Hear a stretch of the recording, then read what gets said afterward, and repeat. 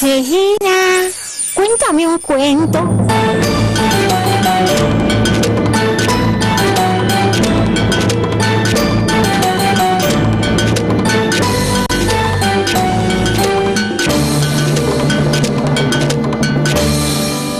Estuviste de jueza de las letras. Por un día nada más, abuela.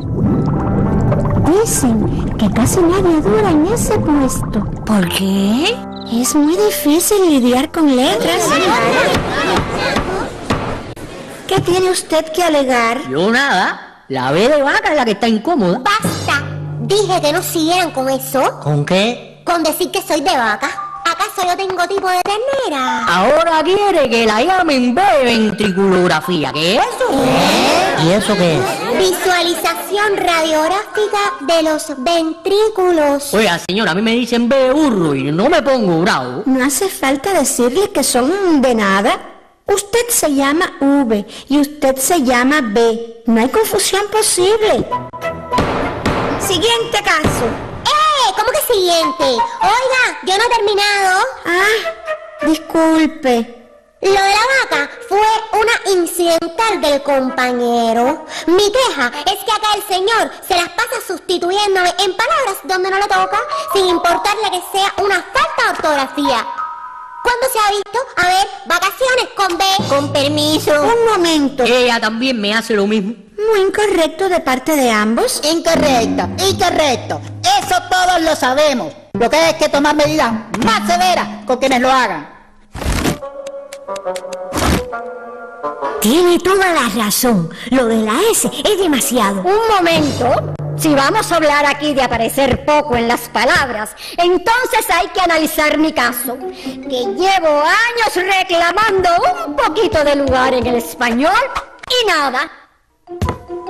Bueno, y el de la K, que está en una situación parecida. Está bien, elevaremos su queja. Pero por favor, debemos concentrarnos en un tema. ¿En cuál tema? En que hay que tomar medidas con la S. No se puede hablar sin pedir la palabra. Pido la palabra. ¿Va a decir algo acerca de lo que hablábamos? ¿De qué estábamos hablando? De...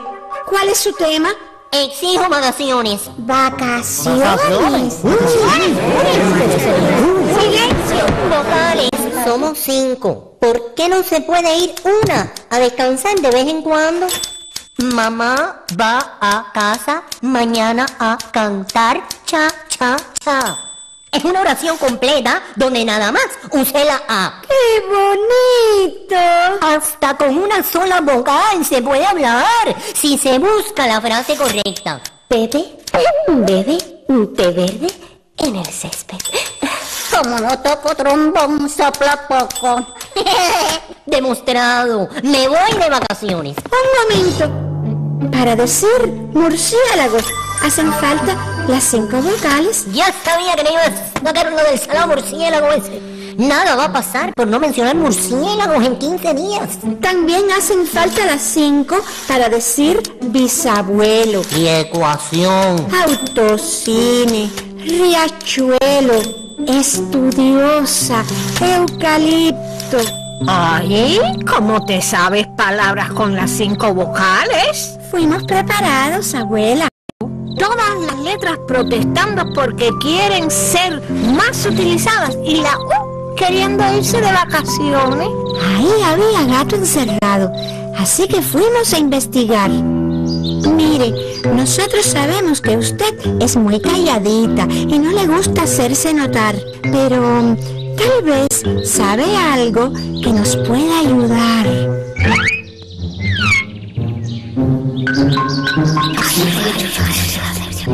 ¡Venganza!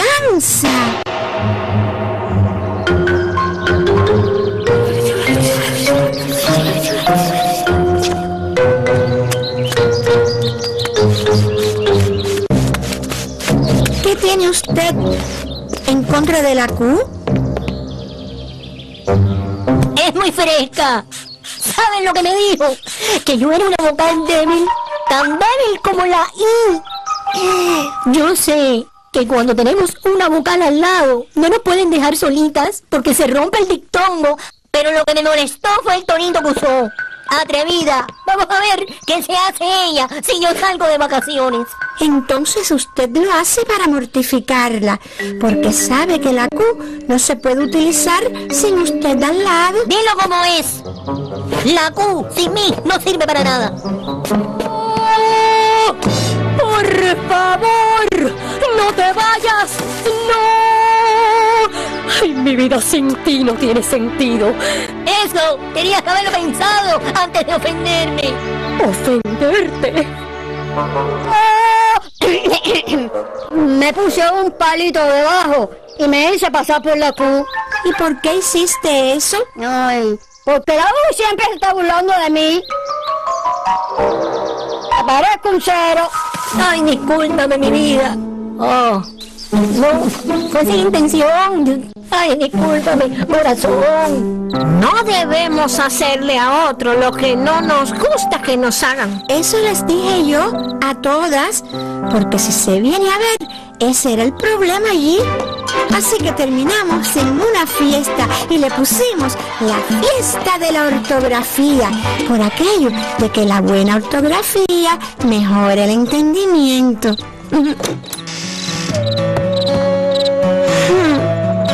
Parece que ya es hora de dormir. Hasta mañana.